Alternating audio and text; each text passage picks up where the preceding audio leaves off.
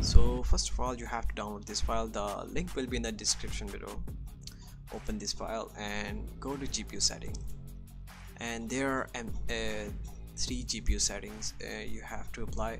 There is uh, AMD, Intel HD, and NVIDIA settings make sure your settings are similar to these if you want to have a smoother game experience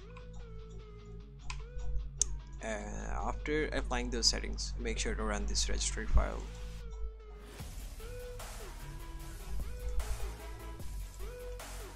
After that come to registry optimization and run all four of these registry files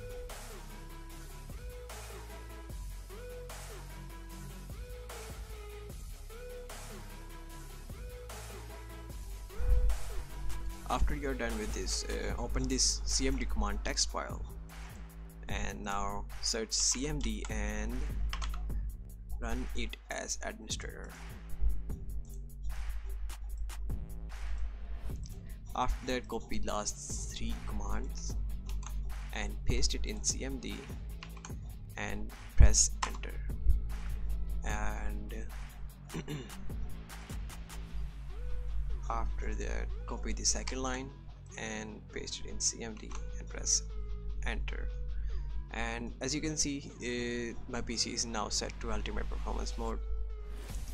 Now close this text file and leave it is uh, leave it open for now. Open timer resolution and go to this command text file now. Now copy these three lines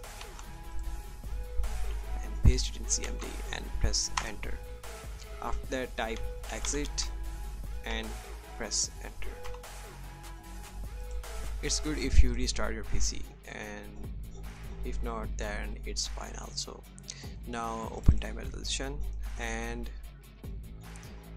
you have to click maximum and minimize it while you are playing the game. It will help you have a more smoother experience in the game without any lag or stutter so if this helped you guys make sure to give it a like and subscribe to my channel and i'll see you guys in the next video to our left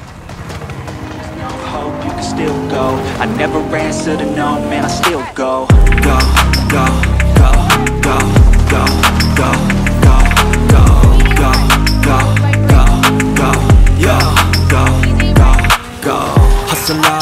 every single day i'll be making moves till i'm buried